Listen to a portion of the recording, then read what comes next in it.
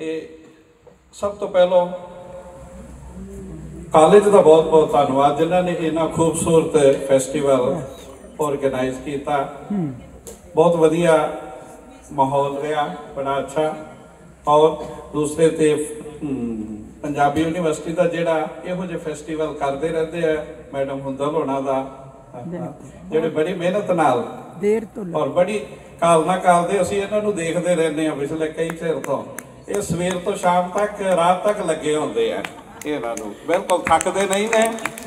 ਔਰ ਅਸੀਂ ਤਾਂ ਥੋੜੀ ਦੇਰ ਲਈ ਆਨੇ ਆ ਲੇਕਿਨ ਇਹ 4 5 5 ਦਿਨ ਔਰ ਫਿਰ ਕਈ ਕਈ ਘੰਟੇ। ਕਿੰਨੀ ਕਿੰਨੀ ਦੂਰ ਯੈਸ ਆਪਣੇ ਘਰਾਂ ਤੋਂ ਔਰ ਸਵੇਰ ਤੋਂ ਰਾਤ ਤੱਕ ਕਿਉਂਕਿ ਸ਼ੁਰੂ ਵੀ ਇਹਨਾਂ ਨੇ ਕਰਨਾ ਹੁੰਦਾ ਖਤਮ ਵੀ ਇਹੋ ਹੀ ਕਰਕੇ ਜਾਂਦੇ ਤੇ ਇਹਨਾਂ ਦਾ ਬਹੁਤ ਬਹੁਤ ਇਹਨਾਂ ਲਈ ਜ਼ਰੂਰ ਤੁਹਾਨੂੰ ਤਾੜੀਆਂ ਵਜਾੜੀਆਂ ਚਾਹੀਦੀਆਂ ਨੇ। ਮੈਂ ਤਾਂ ਜੀ ਪਹਿਲਾਂ ਵਜਾਉਣੀ ਹੈ ਔਰ ਉਸ ਤੋਂ ਬਾਅਦ ਬੱਚਿਆਂ ਦਾ ਔਰ ਉਹਨਾਂ ਦੇ ਟੀਚਰਸ ਦਾ।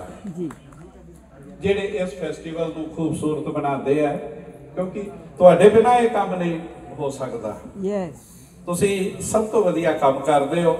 ਜਿਹੜੀ ਇੰਨੀ ਮਿਹਨਤ ਕਰਦੇ ਹੋ ਤੁਸੀਂ ਤੁਹਾਡੇ ਟੀਚਰ ਸਾਹਿਬਾਨ ਤੇ ਉਹਨਾਂ ਦਾ ਵੀ ਬਹੁਤ ਬਹੁਤ ਧੰਨਵਾਦ ਔਰ ਤੁਸੀਂ ਆਪਣੇ ਵਾਸਤੇ ਵੀ ਜ਼ਰੂਰ ਤਾੜੀਆਂ ਮਾਰੋ ਅਸੀਂ ਮਾਰਾਂਗੇ ਜੀ।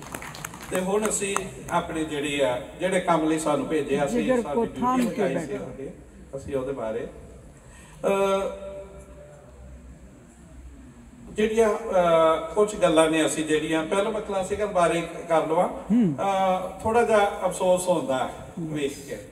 ਕਿ ਸਾਡੀ ਜਿਹੜੀ ਆਪਣੀ ਸੰਸਕ੍ਰਿਤੀ ਹੈ ਭਾਰਤ ਦੀ ਜਿਹੜੀ ਆ ਸਭ ਤੋਂ ਮੁੱਖ ਜਿਹੜੀ ਹੈਗੀ ਆ ਉਹਦੇ ਵਿੱਚ ਇੰਨੇ ਕਮਜ਼ੋਰ ਨਹੀਂ ਹੋਣਾ ਚਾਹੀਦਾ।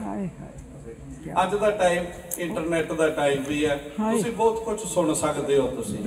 ਬੜੇ ਬੜੇ ਚੰਗਿਆਂ ਨੂੰ ਸੁਣ ਸਕਦੇ ਹੋ ਤੁਸੀਂ।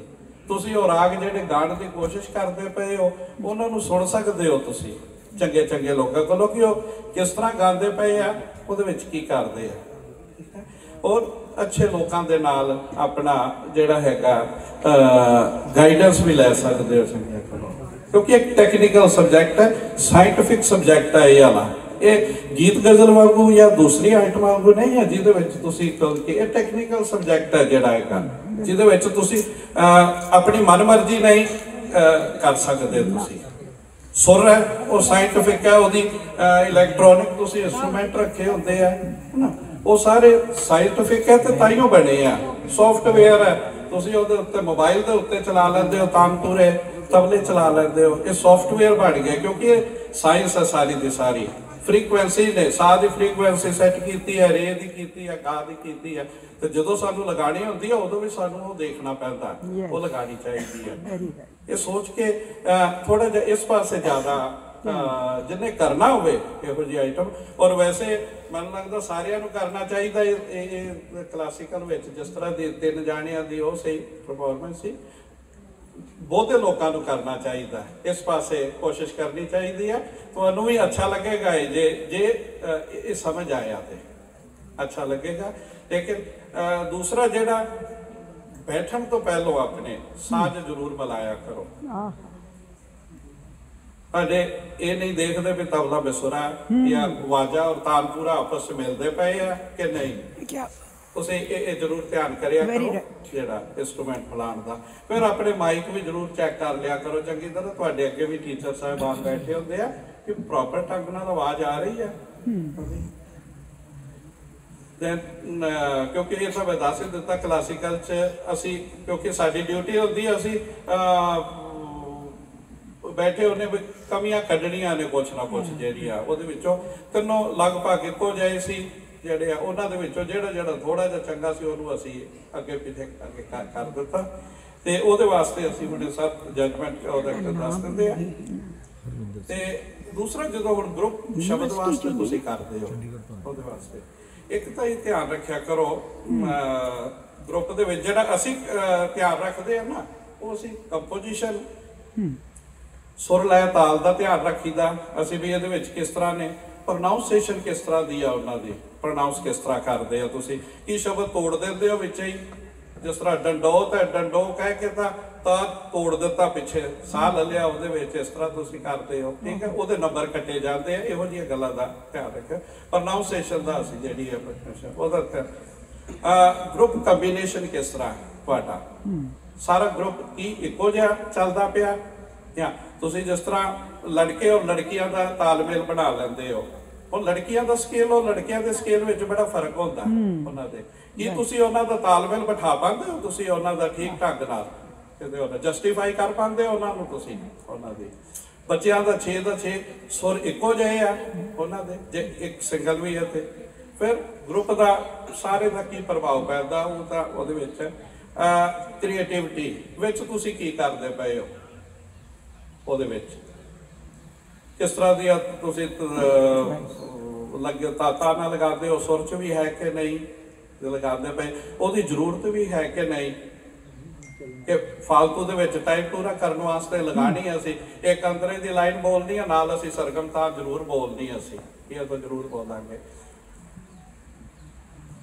ਅਹ, ਕੋਈ ਫੀਲਿੰਗ ਵੀ ਹੈਗੀ ਹੈ ਵਿੱਚ? ਸ਼ਬਦ ਵਾਲੀ ਸ਼ਬਦ ਵਾਲੀ ਭਾਵਨਾ ਵੀ ਹੈ ਵਿੱਚ?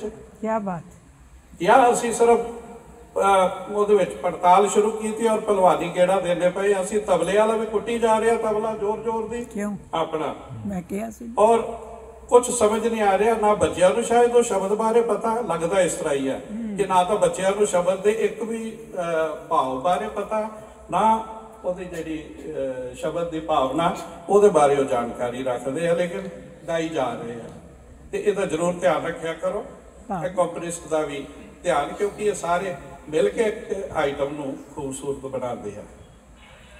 ਤੇ ਕਈ ਵਾਰੀ ਕੰਪਨੀਸ ਦੇ ਵਿੱਚ ਤਬਲੇ ਵਾਲਾ ਆਪਣੇ, ਅਸੀਂ ਵੇਖਿਆ ਤਬਲੇ ਵਾਲੇ ਇਨਸਟਰੂਮੈਂਟਲ ਵਾਲੇ ਆਪਣੇ ਮਾਈਕ ਜ਼ਰੂਰ ਵਧੀਆ ਸੈੱਟ ਕਰਦੇ ਆ। ਆਵਾਜ਼ ਉਹਨਾਂ ਦੀ ਪੂਰੀ ਆਵਾਜ਼ ਹੁੰਦੀ ਆ, ਬੱਚਿਆਂ ਦੀ ਆਵੇ ਜਾਂ ਨਾ ਆਵੇ। ਉਹ ਆਪਣਾ ਤਬਲਾ ਪੂਰਾ ਸੈੱਟ ਕਰ ਲੈਣਗੇ ਔਰ ਉਸ ਤੋਂ ਬਾਅਦ ਫਿਰ ਕਿੰਨੇ ਕੁ ਦੀ ਲੋੜ ਹੈਗੀ ਹੈ, ਕਿੰਨਾ ਕੁ ਵਜਾਣਾ ਚਾਹੀਦਾ, ਕਿੰਨਾ ਇਸ ਗੱਲ ਦਾ ਵੀ ਧਿਆਨ ਰੱਖਿਓ ਤੇ ਅਸੀਂ ਇਹ ਇਹੋ ਜਿਹੀਆਂ ਗੱਲਾਂ ਨੂੰ ਧਿਆਨ 'ਚ ਰੱਖਦੇ ਹੋਏ ਅਸੀਂ ਔਰ ਸ਼ਬਦ ਵਾਸਤੇ ਵੀ ਮੇਰੀ ਹੋ ਇੱਕ ਹੋਰ ਰਿਕੁਐਸਟ ਹੈ, ਤੁਹਾਡੇ ਇੱਥੇ ਜੋਰ ਵਿੱਚ ਬੜੇ ਕਾਲਜ ਹੋਣੇ ਆ ਥੋੜੀ ਜੀ ਗਿਣਤੀ ਜ਼ਰੂਰ ਵਧਾਓ, ਪੰਜ ਕਾਲਜ ਬਹੁਤ ਘੱਟ ਨੇ। ਬੜੀ ਕੋਸ਼ਿਸ਼ ਕਰਿਆ ਕਰੋ ਐਫਰਟਸ ਤਾਂ ਕਰਨੇ ਪੈਂਦੇ ਆ। ਜਦੋਂ Punjabi university youth welfare department ਇੰਨਾ ਕੁਝ ਕਰਦਾ ਪਿਆ ਇੰਨੀ ਕੋਸ਼ਿਸ਼। ਤੇ ਤੁਸੀਂ ਵੀ ਜ਼ਰੂਰ ਕੋਸ਼ਿਸ਼ ਕਰੋ ਕਿ ਇਹ ਪੰਜ ਤੋਂ ਘੱਟੋ ਘੱਟ 10 15 ਤਾਂ 10 12 ਤਾਂ ਹੋਣੇ ਚਾਹੀਦੇ ਆ। ਕੰਪੀਟੀਸ਼ਨ। ਤੇ ਸਰ ਹਰਪ੍ਰੀਤ ਸਿੰਘ ਜੀ ਮੈਂ ਹਰਵਿੰਦਰ ਸਿੰਘ ਉਹਨਾਂ ਨੇ ਸਰ ਨੇ ਕਿਹਾ ਸੀ ਆਪਣੀ ਇੰਟਰੋਡਕਸ਼ਨ ਇਸ ਤਰ੍ਹਾਂ ਦੇ ਕੁਝ ਨਹੀਂ ਸਾਡੇ ਵਿੱਚ ਵੀ ਅਸੀਂ ਆਪਣੀ ਇੰਟਰੋ ਆਪਣੇ ਬਾਰੇ ਮੈਂ ਕੁਝ ਬੋਲ ਸਕਾਂ ਤੇ ਇਸ ਤਰ੍ਹਾਂ ਦਾ ਮੇਰੇ ਵਿੱਚ ਕੁਝ ਨਹੀਂ। ਤੁਸੀਂ ਅੱਜ ਕੱਲ ਗੂਗਲ ਦੇ ਉੱਤੇ ਬੜਾ ਕੁਝ ਲੱਭ ਜਾਂਦਾ। ਮੇਰਾ ਹਰਵਿੰਦਰ ਸਿੰਘ ਨਾਂ ਹੈ। ਮੈਂ ਕਾਲਜ ਤੋਂ ਗਿਆ 11 ਸੈਕਟਰ ਗਵਰਨਮੈਂਟ ਕਾਲਜ ਚ ਰਿਹਾ ਪ੍ਰੋਫੈਸਰ ਦੀ ਪੋਸਟ ਤੇ। ਤੇ ਹੁਣ ਰਿਟਾਇਰ ਹੋਇਆ।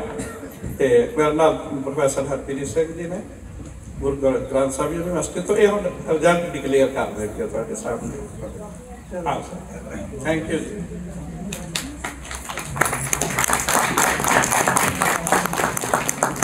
ਹਾਲ ਦੇ ਵਿੱਚ ਹਾਜ਼ਰੀਨ ਸਾਰਿਆਂ ਨੂੰ ਸਤਿ ਸ਼੍ਰੀ ਅਕਾਲ। ਮੈਮ ਗੁਰਮੀਤ ਮੈਮ ਬੈਠੇ ਨੇ ਸਾਡੇ ਬਹੁਤ ਸਤਿਕਾਰਯੋਗ ਡਾਕਟਰ ਜਗਮੋਹਨ ਜੀ ਬੈਠੇ ਨੇ ਤੇ ਸਾਰੇ ਹੋਰ ਵੀ ਆਰਟਿਸਟ ਸਟੂਡੈਂਟਸ ਆਫੀਸ਼ੀਅਲਸ ਸਾਰੇ ਬਹੁਤ ਸਾਰੀਆਂ ਗੱਲਾਂ ਤੁਹਾਨੂੰ ਸਰ ਨੇ ਦੱਸਿਆ ਨੇ ਆਪਣੇ ਬਾਰੇ ਵੀ ਉਹਨਾਂ ਨੇ ਕਿਉਂਕਿ ਫੁੱਲ ਨੂੰ ਦੱਸਣ ਦੀ ਕਈ ਵਾਰ ਲੋੜ ਨਹੀਂ ਪੈਂਦੀ ਖੁਸ਼ਬੂ ਦੱਸ ਦਿੰਦੀ ਹੈ। ਉਹਨਾਂ ਦੀਆਂ ਗੱਲਾਂ 'ਚੋਂ ਤੁਹਾਨੂੰ ਬਹੁਤ ਕੁਝ ਸਿੱਖਣ ਨੂੰ ਮਿਲੇਗਾ। ਤਾਂ ਮੇਰੇ ਬਾਰੇ ਮੈਂ ਜ਼ਿਆਦਾ ਨਹੀਂ ਬੋਲਣਾ ਤੁਹਾਡੀਆਂ ਦੁਆਵਾਂ ਨਾਲ 2019 ਦੇ ਵਿੱਚ ਪੀਟੀਸੀ ਪੰਜਾਬੀ ਨੇ ਇੱਕ ਸ਼ੋਅ ਕਰਵਾਇਆ ਗਾਓ ਸੱਚੀ ਬਾਣੀ।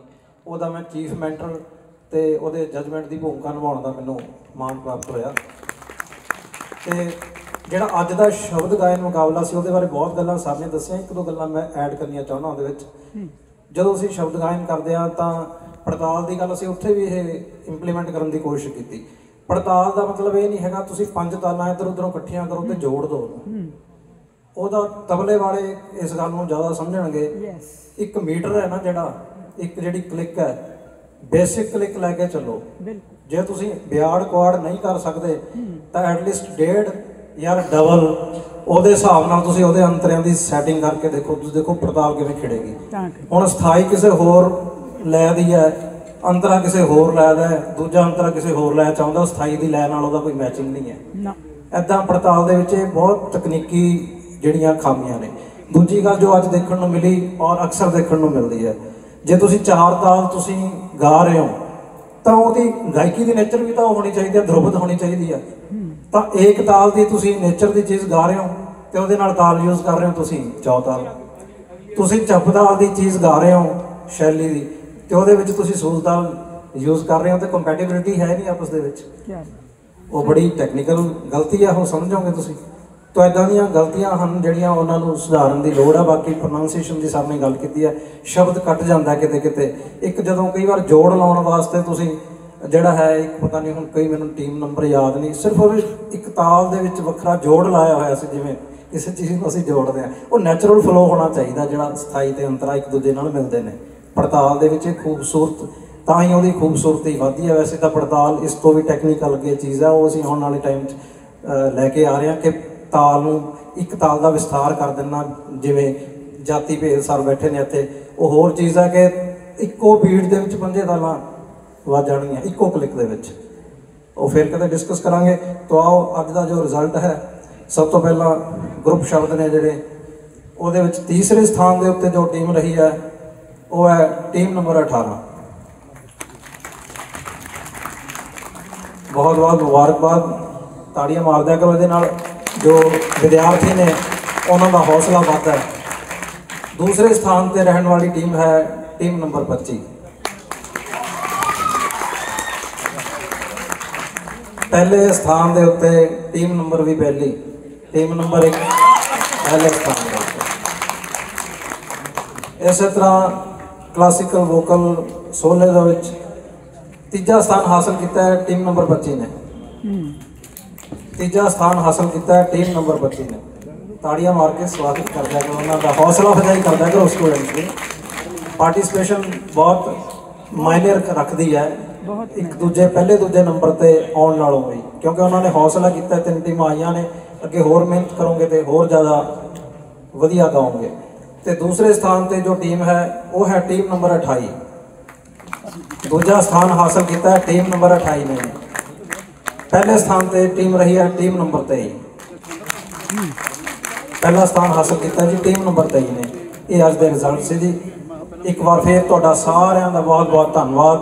ਡਾਇਰੈਕਟਰ ਯੂਥ ਵੈਲਫੇਅਰ ਮੈਮ ਆਏ ਨੇ। ਉਹਨਾਂ ਦਾ ਧੰਨਵਾਦ। ਪ੍ਰਿੰਸੀਪਲ ਸਾਹਿਬ ਬੈਠੇ ਨੇ। ਔਰ ਸਾਰੀਆਂ ਸ਼ਖਸੀਅਤਾਂ ਦਾ ਬਹੁਤ ਬਹੁਤ ਧੰਨਵਾਦ। ਮੇਰੇ ਸਾਥੀ ਜੱਜ ਸਾਹਿਬਾਨ ਦਾ ਧੰਨਵਾਦ। ਬੱਚਿਆਂ ਦਾ ਧੰਨਵਾਦ। ਸਟੂਡੈਂਟਸ ਦਾ ਸਾਰਿਆਂ ਦਾ। ਅਖੀਰ ਦੇ ਵਿੱਚ ਸਾਰਿਆਂ ਨੂੰ ਫੇਰ ਸਤਿ ਸ੍ਰੀ ਅਕਾਲ। ਵਾਹਿਗੁਰੂ ਜੀ ਕਾ ਖਾਲਸਾ। ਵਾਹਿਗੁਰੂ ਜੀ ਕੀ ਫਤਿਹ।